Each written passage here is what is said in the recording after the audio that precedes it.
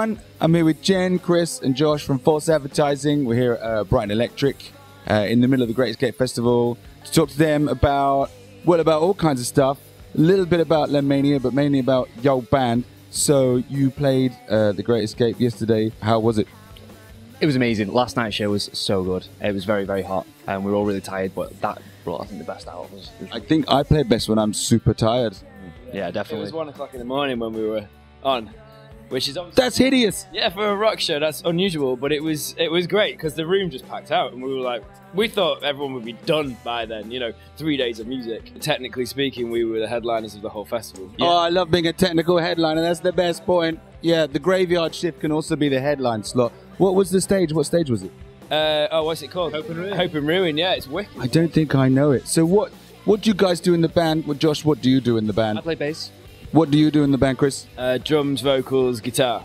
That's lots. And Jen, what do you do in the band? drums, vocals, guitar. Yeah. And do you swatch, swip around, swip around, swatch around in the live show? We do that. Yeah. Exciting times. Now, I tell you what, because you guys are obviously you're playing Lenmania with me and tons of other excellent bands, and also Road to Lenmania as well coming to your town. And the funny thing is, man, because I was in a car with my drummer Dan Cav, who you know, and he was like, "Dude, you got to hear this band False Advertising." I was like, "Fair enough," and he put it on, and I think it was Scars we listened to. It was the first track.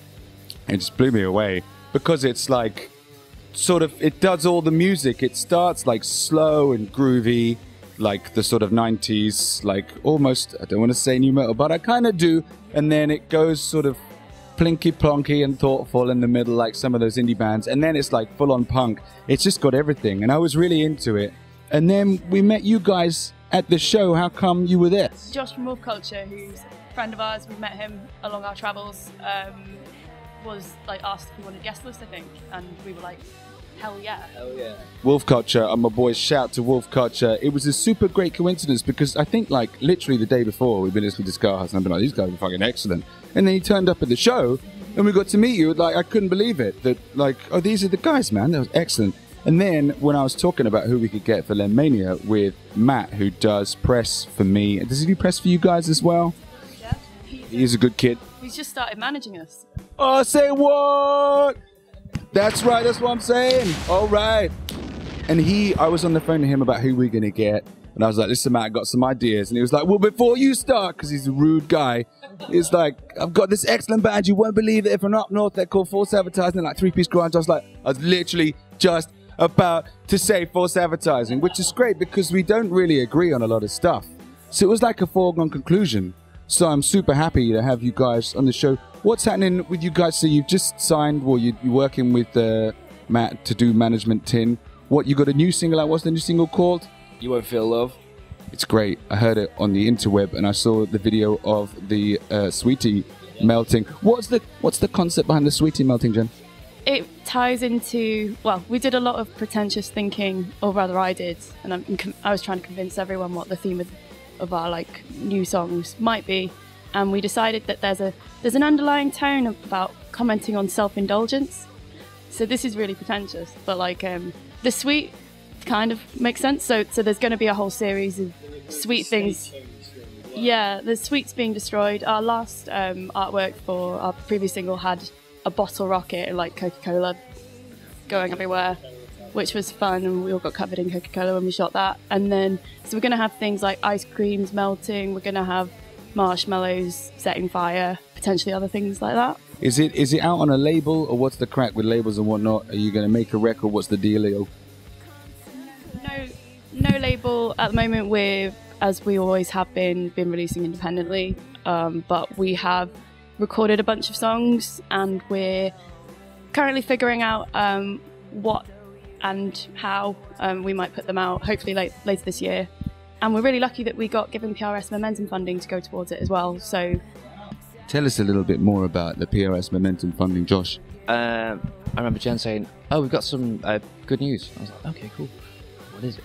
It's like we've just been given a lot of money by PRS, Wow. and I was like, "Okay, brilliant. Let's talk about this properly, not on the phone." And then we, we went and talked about it. And we We've really applied good. a lot of times and, and not got it. Um, but this is very timely. I, I, I mean, obviously they're looking at the validity of, of what you're proposing, and actually we have a body of work here we can do something with. So they're obviously thinking, "Eh, man, now it's time. And so, yeah, the stars sort of aligned in that regard. Yeah, yeah. For people that may not know, PRS is the body that uh, collects all the money that you get from your song publishing. So if your song gets played in public or at a show or anywhere, they collect that money from the songwriting royalties and then feed it back to the artist. How can uh, other bands apply for PRS Momentum funding? Josh? You will have to apply to be on PRS first of all, originally for the Indeed. online, and then you can literally just apply. So that's super exciting for you guys. I didn't know about that. Congratulations. Chris, tell me more about like how the band got together, what happened there. Interesting. Okay, well, it's, it is a long story, so I'll try and keep it short. But well, one thing I did want to mention was um, the early days. Me and Jen started duetting acoustic, and uh, what was the song? Good luck. We did "Good Luck." Good luck. Yeah, Painful. yeah, yeah. It's great, great song, and um, very difficult to play and sing simultaneously. But we we got there in the end. So there was that, and then uh, we had another band with Josh in it, uh, with a drummer, and when that fell apart, we kind of we re- me and Jen got back together like we can't we- we've got something we need to crack we need to do something. And we were like well we've both dabbled in drums and we kind of both wanted to play drums. And so we were like well we'll both play drums. That's great. and so that was kind of before we'd even written a song although I think Jen was already demoing some stuff. I was I was programming lots of drums at the time. Yeah, yeah, yeah. And, and so we were programming all the drums. We started demoing. We programmed all the drums, and then our good friends, the Hyena Kill, let us use their practice room and drum kit. Shout out to Lorna for for that. That was awesome. Uh, we wouldn't exist without that uh, help. And we basically then learned drums by learning the programmed drums that we had written Yeah. and that was that yeah and then and then yeah that was maybe four or five years ago we wrote a whole album before we did a gig and then because we wanted to figure it out you know and then and then yeah and then we got going and that was four years ago Yeah. yeah We didn't want to like fizzle into existence, did we? Like single here, drip feed it, up there, and we just go boom. Yeah, page, you- boom, we're you can band, understand boom, the let's now- boom, let's temptation. gig. No, everything. we've been in lots of bands particularly me and josh and you know it's like five songs let's gig and like you're not formed you've you've rushed your songwriting process we were like no no no no let's do this properly It was tricky because we were recording. We were in an awesome position where Chris had access to a studio, and It was um, very makeshift. Stu- We had a few, a few SM58s, and a, one good microphone, literally one good one, uh, and a computer, no outboard gear, very poorly treated room, but it was a studio. yeah, but above a, pu- a pub, which sometimes had fights, which was scary. Um, but yeah, what was I going to say? It, it- the temptation, I know, particularly with you two, to share what we were working on, maybe before we were quite ready, was was definitely a real thing. You were saying about, you know, the, the temptation to just go out as soon as you've got five songs, do a gig, and you want people to hear it, against like taking, really taking your time and having a polished product and giving everybody everything at once. Either this is us, this is our album, this is our artwork, this is everything. And there's, I, I've always done it that way as well. When I was in my first ever band, the first version of what became Reuben, we had like an album's worth of stuff. We rehearsed for like two years before we played a single gig. And so when we went out, yeah, we were ready and we knew what we were doing. And I think that was probably an advantage. And similarly, when I did my first solo record, again, I did like a whole double album, did the whole thing before I told anyone what I was doing. And then boom, it was there. Here are the dates, here are the tour.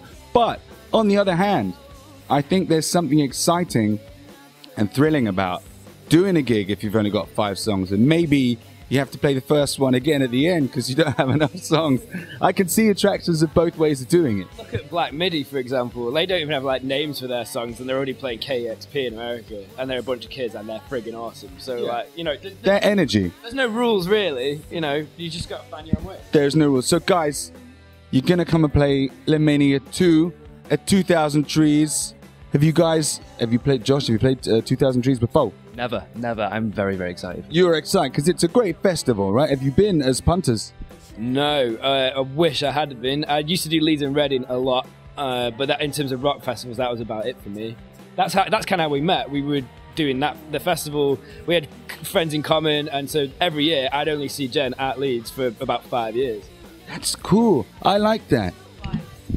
So I Oh, did you only only go to twice. Leeds twice. I would. I think I think Trees is like that for a lot of people. It's sort of their yearly meetup and they hang out, you know, once a year at, at Trees. I think a lot of festivals are like that. I'm really looking forward to Trees and we got the whole stage this year for Lenmania 2 and loads of excellent bands. And three of these choice bands are hitting the road with me in Glasgow and London on Road to Lenmania. So the week before Lenmania at 2000 Trees, Road to Lenmania is a couple of shows. Is it sort of on the way? It is sort of on the way down from Glasgow to London to Cheltenham. And it's the road to it. And we're going to have these guys, and we got Frauds, and we got Orchards as well. Tell me, Jen, are you excited about the road to Lenmania? Yes, very much so. I think we've only played Glasgow once, and that venue, especially St Luke's, oh my goodness, like I've never been there. Is it great? I mean, I've been to Glasgow tons of times. Never been to St. Luke's. Is it excellent? I've looked at lots of pictures, and I had a conversation with someone yesterday from Glasgow, um, from Help Musicians UK, who was like, "That is like my favourite venue ever." Wow. So pictures and a conversation.